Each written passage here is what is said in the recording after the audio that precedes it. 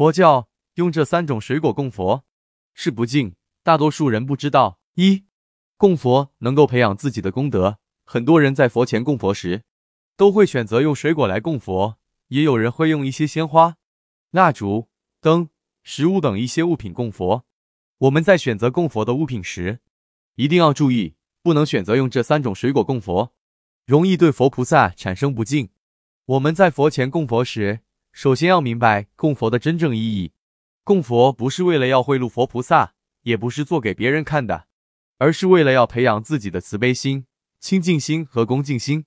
供佛的行为看起来像是在供奉佛菩萨，佛菩萨其实不会用我们供养的东西。我们的一切行为都是亲近自己的内心，培养自己的慈悲心和利他心，同时克服自己的贪欲和利己心，使我们的心胸变得更加开阔。佛前供物其实是为了表法，提醒自己要精进修行，不要懈怠。例如佛前供水，就意味着修行清净心、大悲心、平等心等。佛前的供果也有着特殊的寓意，供果代表了因果。